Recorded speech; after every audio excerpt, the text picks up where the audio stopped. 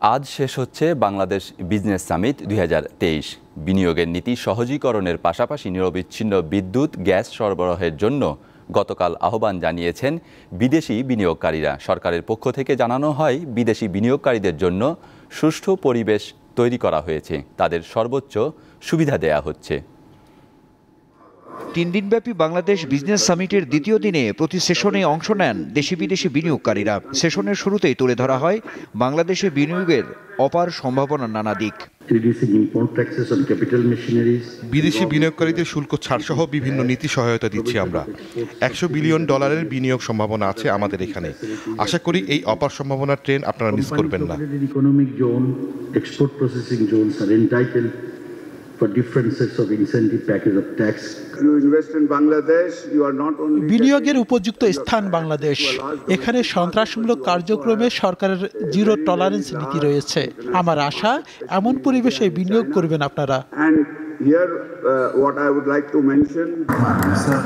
আগ্রহের কথা জানিয়ে বিদেশি বিনিয়োগকারীরা বলেন ব্যবসা সংশ্লিষ্ট বিভিন্ন নীতি আরও সহজ করতে হবে। গ্যাস বিদ্যুতের সরবরাহ নিশ্চিতেরও তাগিদ দেন তারা। Uh, I must say, uh, lucky to find this country uh, বাংলাদেশের অর্থনীতির চলমান অগ্রগতিতে আমরাও সামিল হতে চাই।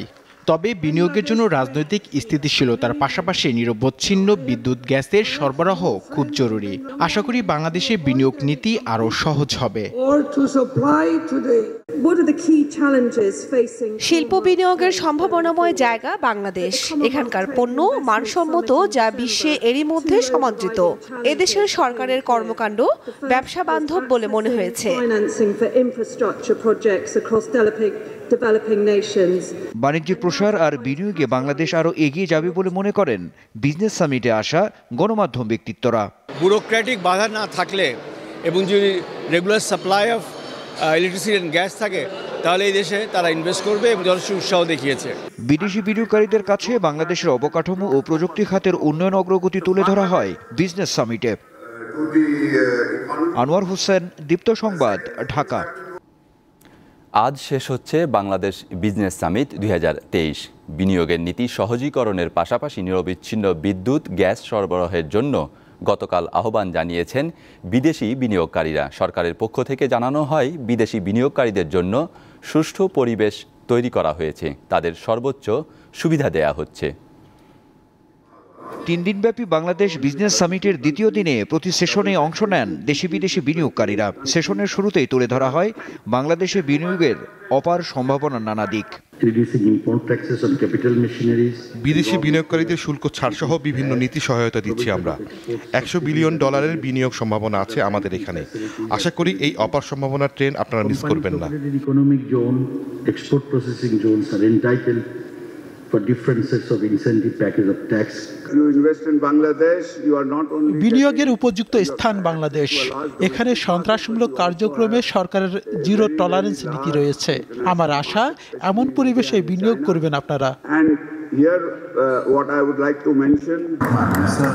আগ্রহের কথা জানিয়ে বিদেশি বিনিয়োগকারীরা বলেন ব্যবসা সংশ্লিষ্ট বিভিন্ন নীতি আরও সহজ করতে হবে। গ্যাস বিদ্যুতের সরবরাহ নিশ্চিতেরও তাগিদ দেন তারা। Uh, I must say, uh, lucky to find this country uh, বাংলাদেশের অর্থনীতির চলমান অগ্রগতিতে আমরাও সামিল হতে চাই।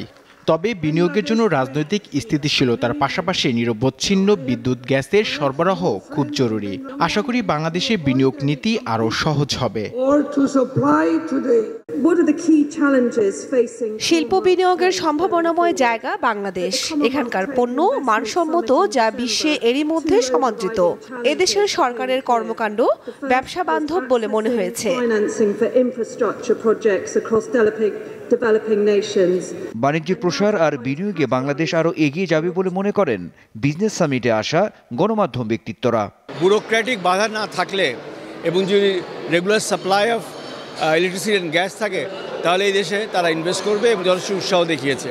বিদেশি বিনিয়োগকারীদের কাছে বাংলাদেশের অবকাঠামো ও প্রযুক্তি খাতের উন্নয়ন অগ্রগতি তুলে ধরা হয় বিজনেস সামিটে। আনোয়ার হোসেন দীপ্ত সংবাদ ঢাকা।